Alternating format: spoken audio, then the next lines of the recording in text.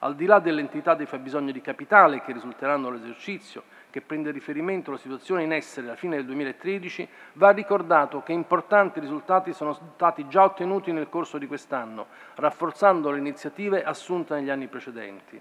In Italia numerosi intermediari hanno operato in bilancio ingenti svalutazioni delle poste dell'attivo, per oltre 30 miliardi nel solo 2013, per quasi 130 dal 2008, accrescendo la trasparenza dei bilanci. Sono state realizzate operazioni di rafforzamento patrimoniale in Italia per quasi 40 miliardi, di cui oltre 10 nel corso 2014. Grazie a questi interventi le banche potranno far meglio fronte alle eventuali necessità di rafforzamento risultanti dell'esercizio.